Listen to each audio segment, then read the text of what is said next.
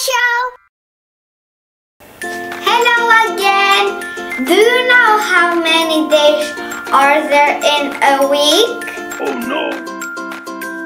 Seven days! Monday! Monday! Tuesday! Tuesday!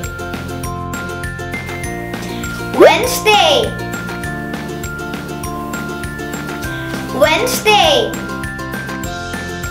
Thursday! Thursday! Friday! Friday! Saturday! Saturday! And Sunday! Sunday! Let's say again!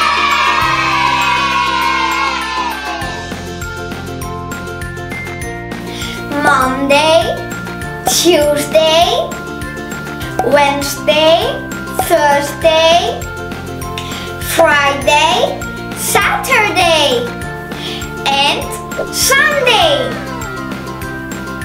Thank you for watching. See you next time.